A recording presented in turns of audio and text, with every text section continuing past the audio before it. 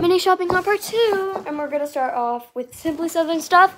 And I just remembered I also have Old Navy stuff. So, um, first thing I got from Simply Southern was these cute little stickers for my water bottle this year for school. Um, and then I got this cute earring. I need new earrings. As you can see, they're really ugly right now.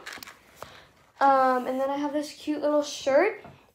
On the front has like a little Simply Southern up there in the corner. And then this ice cream thing on the back, so cute. Then there's this long sleeve shirt. I got two of these for clearance. Um, front, the back, and then there's also Simply Southern on the sleeves. The front, the back on this one. And maybe I'll start with my Old Navy stuff. Start with this cute little sweatshirt. This Old Navy on it. And um,